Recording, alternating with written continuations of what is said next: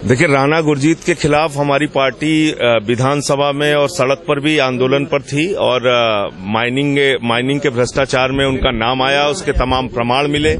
तो जो कार्रवाई बहुत जल्दी हो जानी चाहिए थी, जिसके पीछे हम लोगों का शक बिल्कुल सही साबित हो रहा है कि भ्रष्टाचार माइनिंग में हुआ था और राणा गुरजीत उसमें शामिल थे। अब वो बातें सही होकर सामने आ रही हैं, उन पे छापे पड़ना चाहिए था, पहले ही पड़ना चाहिए था। एक नया ट्रेंड शुरू हो गया है मोदी जी के राज में कि आप भ्रष्टाचार कीजिए, घोटाला कीजिए, लूटखोरी कीजिए, देश को करोड़ों रुपए के भ्रष्टाचार में फंसाइए और उसके बाद विदेश चले जाइए, आराम से वहाँ पर रहिए, वहाँ की सिटीजनशिप लीजिए। कोई आदमी अगर भ्रष्टाचार के बारे में बोलता है तो उस पर डिफेमेशन कर दीजिए। ये कौन सा तरीका है? आप बताइए, नौ हज़ार करोड़ रुपए लेकर माल्या आज विदेशों में बैठा हुआ है। ग्यारह हज़ार चार सौ करोड़ रुपए का घोटाला करके बेल्जियम का नागरिक बन गया नीरव मोदी। अब अनिल अंबानी का जो मामला था, मैंने क्या कहा? मैंने कहा, भाई, राफेल डील के अंदर एक जहाज़ जो यूपीए गवर्नमेंट में 2012 में 500 करोड़ का खरीदा जा रहा था, वही जहाज़ मोदी जी की सरकार में कैसे 1640 करोड़ रुपए में खरीदा जा रहा है?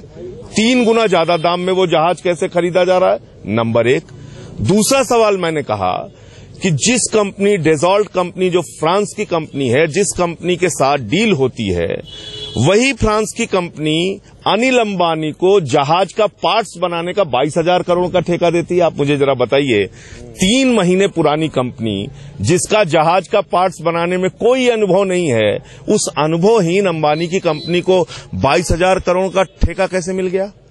इसका मतलब कि चौकीदार अब भ्रष्टाचार में हिस्सेदार बन गया है। इसलिए इस देश के अंदर ये सब कुछ हो रहा है। मैं अंबानी के खिलाफ एक नहीं एक हज़ार बार बोलूँगा पाँच हज़ार करोड़ का हिंदुस्तान का अब तक का सबसे बड़ा डिफेमेशन उन्होंने मेरे ऊपर किया है। मैं इस लड़ाई में पीछे हटने वाला नहीं हूँ बार बार बोलता रहूँगा यहाँ मजीठिया से भी लड़ रहा हूँ। अब अंबानी तक लड़ाई पहुँची है वित्त मंत्री जी भी मेरे खिलाफ डिफेमेशन किए हुए हैं। करने दीजिए। सच कहना अगर बगावत है तो समझो हम भी बागी हैं। ਪੰਜਾਬ ਨਾਲ ਜੁੜੀ ਹਰ ਖਬਰ ਸਭ ਤੋਂ ਪਹਿਲਾਂ ਵੇਖਣ ਲਈ ਸਬਸਕ੍ਰਾਈਬ ਕਰੋ ਸਾਡਾ YouTube ਚੈਨਲ ਤੇ ਕਲਿੱਕ ਕਰੋ ਬੈਲ ਆਈਕਨ ਤੇ, ਤਾਂ ਜੋ ਤੁਹਾਨੂੰ ਹਰ ਖਬਰ ਮਿਲੇ ਸਭ ਤੋਂ ਪਹਿਲਾਂ। ਇਸ ਦੇ ਨਾਲ ਹੀ ਵਿਜ਼ਿਟ ਕਰੋ ਸਾਡੀ ਵੈਬਸਾਈਟ ਤੇ www.khabarharpalindia.com ਤੇ। ਇਸ ਦੇ ਨਾਲ ਹੀ ਤੁਸੀਂ ਸਾਡਾ ਫੇਸਬੁੱਕ ਪੇਜ ਵੀ ਲਾਈਕ ਕਰ ਸਕਦੇ ਹੋ। ਫੇਸਬੁੱਕ ਤੇ ਸਰਚ ਕਰੋ ਖਬਰ ਹਰਪਲ ਇੰਡੀਆ